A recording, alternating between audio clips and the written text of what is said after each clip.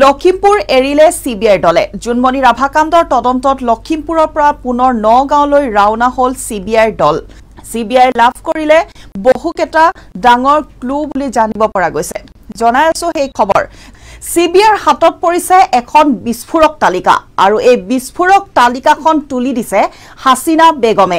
হাছিনা বেগমে C B আইৰ হাতত তুলি দিয়া চাৰি পৃষ্ঠাৰ অভিযোগ পত্ৰত আৰক্ষী সাংবাদিকসহ নাম আছে মুঠ সোতৰজনৰ অসম আৰক্ষীৰ আই জি পিৰ পৰা উপ পৰিদৰ্শকলৈকে বহু বিষয়াৰ নাম উল্লেখ কৰিছে তালিকাখনত।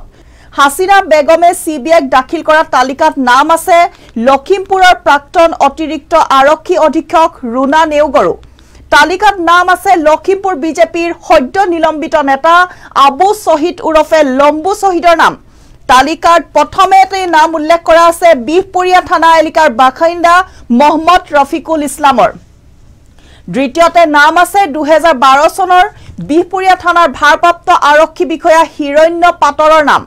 তালিকাত নাম আছে এছ আই বিষ্ণু দেউৰী নাওবৈচা আৰক্ষী চকীৰ প্ৰাক্তন ভাৰপ্ৰাপ্ত বিষয়া সঞ্জীৱ বৰাৰ।